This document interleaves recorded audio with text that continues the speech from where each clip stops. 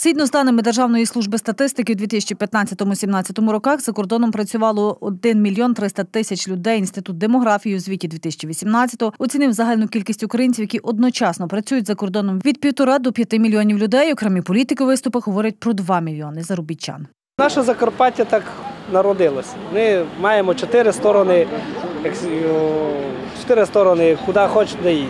Чехія, Словакія, Венгрія, Угорщина, є Угорщина, поляки. Ну, на Закарпатті можна заробити, квітки продавати, ягоди. Але це вже давно зайнято. Люди вже роками цим займаються, ніхто не хоче конкуренцію збільшувати. 30 чи 40% виїжджають, не повертаються.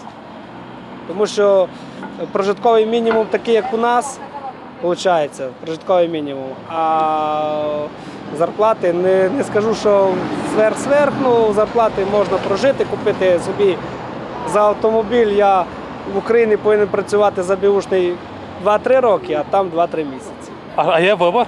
Якщо Україна не дає можливості, дає друга страна, дає мінімум Словакія, Венгрія, Великобританія. Ну так від бідноти, від чого їдуть? Якщо нема за що купити кусок хліба, лічитися, та як думаєте, як може бути? То все треба за все платити. А звідки брати ту копійку?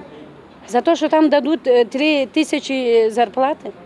Чи звідки? Так масово, звісно, масово. Вихід один, щоб зробили, щоб люди вдома працювали, щоб заводи повідкривали, які були заводи, всі позакривані, розбиті.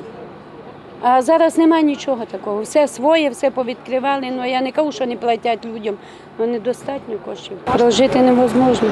Як наслідок черги в сервісних центрах на контрольно-пропускних пунктах ціна питання в середньому 3-4 тисячі гривень на оформлення документів і приблизно 700 тисяч доларів США чистими щомісяця, як кажуть заробітчани. Якщо відняти витрати на житло та їжу, деяким пощастило, за них платять роботодавці. Проте найбільша проблема заробітчан втрата соціальних зв'язків, діти ростуть без батьків, сім'ї руйнуються. Проблема велика, то страшна проблема. З кожної тисячі, беремо так, коло 100 сімей розпадається. Це не менше. Але в дальнішому я знаю, що якось воно буде. Але поки що всі виїжджають. страдає, їде зі мною. Так само їде, і жінка їде, і малий приїжджає син. В тому проблема, що самому не хочеться їхати, ну як ще каже, йде 1 вересня і це треба все зробити. Чого ростуть бізнес? Стараюся кожні 2-3 місяці приїжджати. І... От тепер був місяць вдома, нормально так. Що нормально. Ну, якщо б ще нам покращили умови пересічення цієї границі, було б легше. Люди б їхали частіше додому, а то границі задержують. Тим не менше, ті, хто йде працювати за кордон, вірять у кращу долю як свою, так і України. Порядок навести. Порядок навести, роботу людям дати. Зарплату нормальну. Все, і люди будуть робити що. Лучше вдома робити.